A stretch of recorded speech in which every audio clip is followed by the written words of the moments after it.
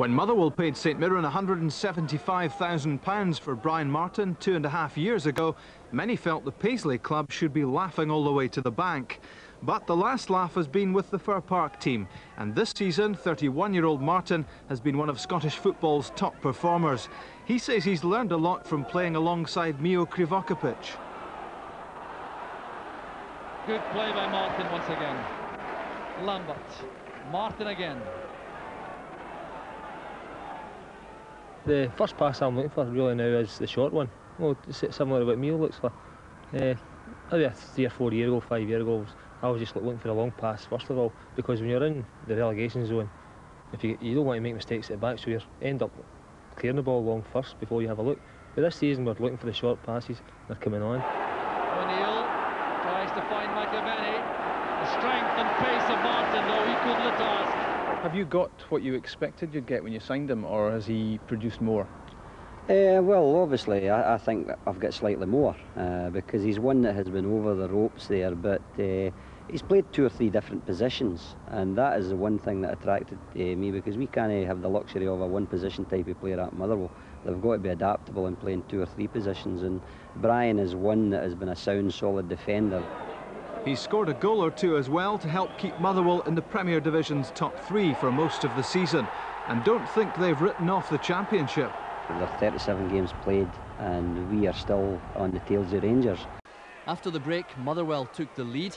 Phil O'Donnell ran forward and his pass collected by Rob McKinnon who gave Nicky Walker little chance of making a save. Before the deadlock was broken at Fir Park, Kevin Twaddle got the better of Perini to open up the scoring if Twaddle's goal stunned the champ. And there was just one minute on the clock when Motherwell came good and snatched all three points. It was Martyn Corrigan lurking with intent inside the penalty area. He's been ordered to push up more by manager Billy Davies, and he did so to spectacular effect. Corrigan, his first goal for the club, it's 2-1 Motherwell.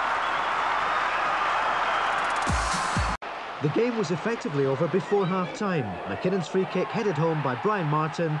A convincing 3-1 lead for the Lanarkshire men in 39 minutes. Much Luck for Celtic when Kevin Twaddle left Stiliyan Petrov in his tracks and beat Jonathan Gould 2 to silence the best part of a 60,000 crowd. It was Stephen McMillan's slide rule pass which set up Twaddle to score his first goal for the first. Down route one, and Kevin Twaddle finished superbly. His second goal in two games for the Fir Park club, and what a strike.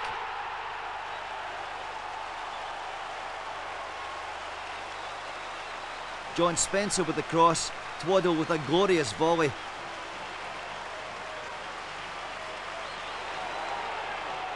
In the first few months of the season, the Fir Park team could do little wrong.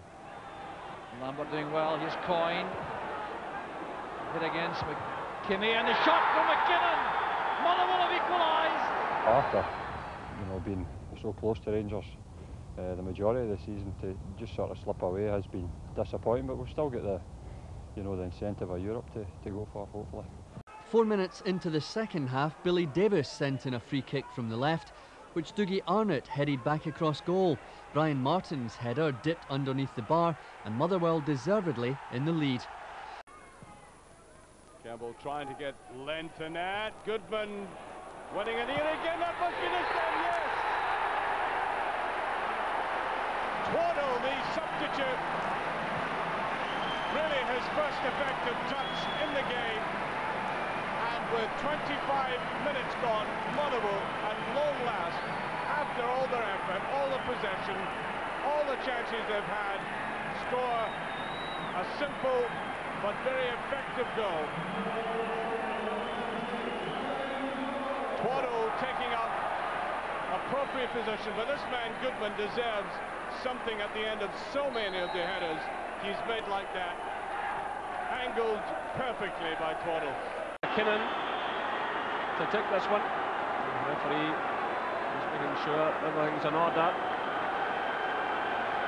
Well, one goal he has this season, McKinnon. He starts his run and he drills it right through Pat Bonner. 84 minutes gone. Muller will take the lead. Jubilation among the fans. McKinnon takes the salute. It's Motherwell 1, Celtic nil. Yeah, I can't really say that they, they have deserved it, although Packie, when he sees it again, won't be happy with that. He could have got down maybe. Maybe he stopped it, but full march Rob McKinnon. He hit the back of the net. Hit it as hard as he could. And really, I think there's no goalkeeper that's going to stop that one. Fine winner. And to celebrate, he pulls the sort of Jesus pose that would have got one. Look at that. The ball plays short to him. Oh, Motherwell playing really with renewed confidence here. A remarkable performance. And Martin equalises for Motherwell. It's a sensational goal for Motherwell. And it's been coming. They've played extremely well. Alec McLeish senses the prospect of taking something from this match. But that was a truly outstanding strike by Brian Martin. It's his first goal of the season. The first man since, apart from Alec Bonds to score for Motherwell, since October. And he did it with real style. Gordon was helpless. 54 minutes of the match gone. And Motherwell's excellent performance capped by this effort from Brian Martin. Oh, what a game we have in our hands now.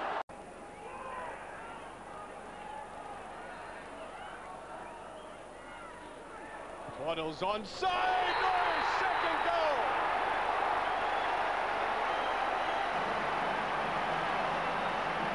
Well, at first the players looked away across to the linesman, but there was no offside.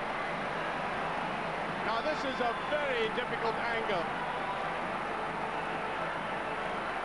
Slipped to the side there, and he made his mind up to swing it to that far post.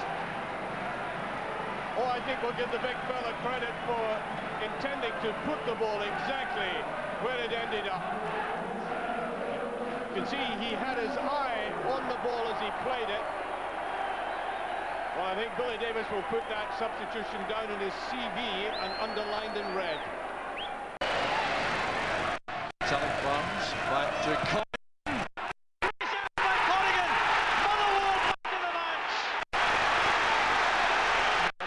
Marshall is disconsolate there. He will feel he should have done better. Should have done better, should have saved that. Closely followed by another headed goal, this time from Brian Martin. The Fir Park fans Uh, here's Colin. Boran gives that extra aerial threat to Motherwell. Here's Colin again. Deflected! It's in the net! Back in the match! Great piece of play from Keegan there. The shot coming off Bob Malcolm's shoulder. Giving back for us absolutely no chance whatsoever. Perseverance was rewarded in the 72nd minute. Kevin Twaddle finding the target. A nice dummy. In contrast, Motherwell are more than adept up front, failing to score only in the recent Old Firm double-header. And while Martyn Corrigan doesn't often feature on the score sheet, he was well placed to accept the invitation from Jim Hamilton. Lambert leaves it to McKinnon.